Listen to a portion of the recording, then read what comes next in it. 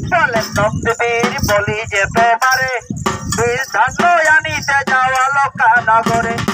এ থেকে শুনিয়া নন্দী করিল গমন। অলকানগরে যেয়ে দিল দর্শন। নন্দী বলে, শুনো শুনো, কুবের ভান্ডারী। আমারে পাঠাইয়াছেন দেব ত্রিপুরারি। শুনো শুনো, কুবের তুমি ধান্য দিলে হয় চাষের পতন কুবের বলেন নন্দী বলি যে তোমারে, অত্র লক্ষ্মী পূজা করি, ধান্য দিব পরে। করিল লক্ষ্মীর পূজা কুবের সত্তর। বীজ ধান্য এনে দিল নন্দীর গোচর। সেই ধান্য লয়ে নন্দী করিল গমন। বল্লুকায় শিবের ঠাই দিল দর্শন।